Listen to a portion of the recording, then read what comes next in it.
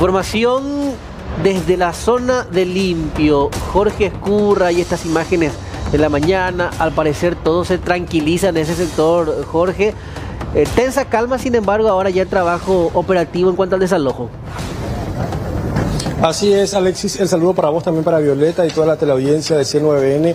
Afortunadamente a esta hora ya por lo menos eh, reina la calma, eh, ya luego de estos incidentes que iniciaron aproximadamente a las 8 y 20 horas cuando los cascos azules irrumpieron el lugar con los carros hidrantes eh, empezando a utilizar la fuerza para finalmente desalojar a estas familias, que serían unas 700 a 800 familias quienes ocuparon el predio desde hace nueve meses atrás.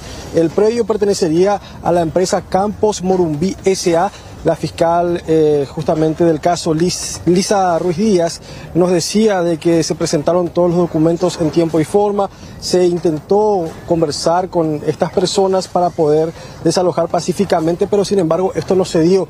Aquí estamos viendo también algunas personas justamente que serían eh, representantes de la empresa Campos Morumbi para también tener la versión de ellos sobre eh, los documentos, sobre este procedimiento, sobre el terreno en sí, que según los ocupantes dijeron en su momento que se trataba de una propiedad en litigio judicial, que no se tenían las documentaciones pertinentes. Vamos a conversar con algunos de ellos, están aprovechando que están aquí justamente a esta hora para saber un poquito de lo que están manifestando sobre esta situación. Era la líder de esta comisión, de este asentamiento. Sí, tuvimos, tenemos información, ¿verdad? Que eh, esta persona eh, eh, formó una, una, comisión vecinal acá, sí. incluso le visitamos varias veces, vinimos aquí, nos constituimos, exhibiéndole todas las documentaciones respectivas y bueno, no quisieron hacer caso y se tuvo que continuar. esta señora? Manifestaba que este lugar no tenía título, ¿verdad? Y que el, que, el Estado le iba a comprar, ¿verdad? Pero nosotros le exhibimos todas las, documentaciones, eh, los títulos de propiedad, condiciones de dominio, planos georreferenciados, todas las documentaciones respectivas y eh, hemos venido varias veces en el el municipio de Limpio, ¿qué respuesta le daban con respecto a esta invasión? Eh, la Fiscalía pidió un informe al, a la Municipalidad de Limpio solamente por el tema del pago de impuestos y estamos, estamos al día. Fue lo único, eh, acá hay una cuestión solamente de, una persona que formó una comisión vecinal acá y comenzó a, a traer gente y a lotear, ¿verdad? Cosa que, que no tenían ninguna autorización de parte de los propietarios bueno, vamos a comenzar aquí también con otros representantes. Ustedes son representantes en este caso Campos Morumbies. Así mismo. Yo soy el abogado Pedro Figari. Abogado, con relación a la situación de esta propiedad, se tenían todas las documentaciones, aparentemente, obviamente que por eso se da este, este esta orden de salud. Efectivamente.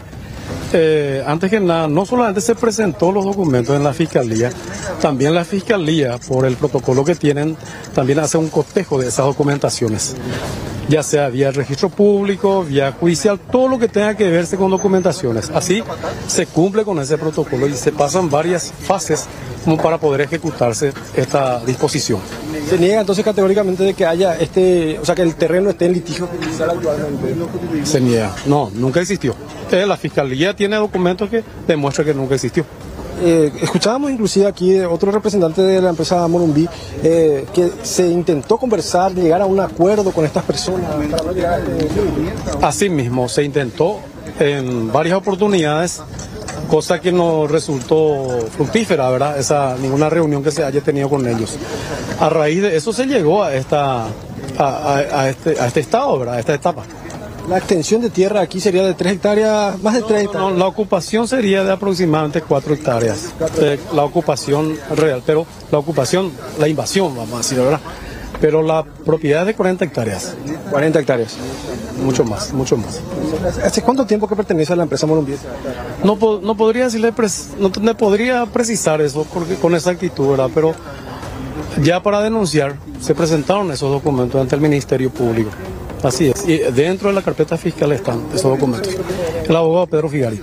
Muchas gracias, abogado. Entonces, con relación a la situación entonces de este terreno por parte del representante de la empresa Morumbí S.A., recién nada más estábamos con la fiscal Lisa Ruiz Díaz, quien manifestó de que tienen identificados plenamente a los pseudos dirigentes quienes habrían estafado a estas familias. Eh, hablamos de estafa, ¿por qué? Porque inclusive se habla de que estas personas habrían cobrado sumas de dinero para el ingreso de estas familias al predio, que tendría una extensión de 40 hectáreas, pero la ocupación se habría dado en un predio de 40, o sea, de 4 hectáreas, según lo que nos refieren los representantes de la empresa Morumbiese, a quienes dicen tener todas las documentaciones respaldatorias y es por ello que se da esta orden de desalojo que finalmente llegó inclusive al límite de tener que utilizar la violencia y la fuerza pública para poder eh, despejar el área y ahora nuevamente ya como pueden ver las familias están empezando a sacar sus pertenencias, están empezando a sacar sus electrodomésticos, sus muebles, están procediendo a echar las precarias viviendas que se tienen en este lugar. Eh, inclusive están ya los tractores apostados a un costado nada más de este predio para ingresar en cualquier momento y empezar a derribar los que los, las viviendas que continúan en pie, por lo menos cuyos propietarios ya se dieron a la fuga. También otro nombre que sale al tapete es Jenny Lescano, quien sería la presidenta de la comisión de este asentamiento, quien sería la persona que pedía dinero, según también tenemos entendido, y la fiscal aparentemente ya estaría imputando a esta persona por estafa, eh, según las primeras informaciones extraoficiales que en cualquier momento vamos a estar confirmando con la propia fiscal.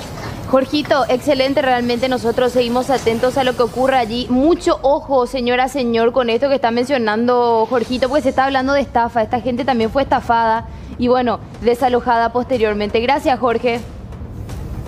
Hasta luego.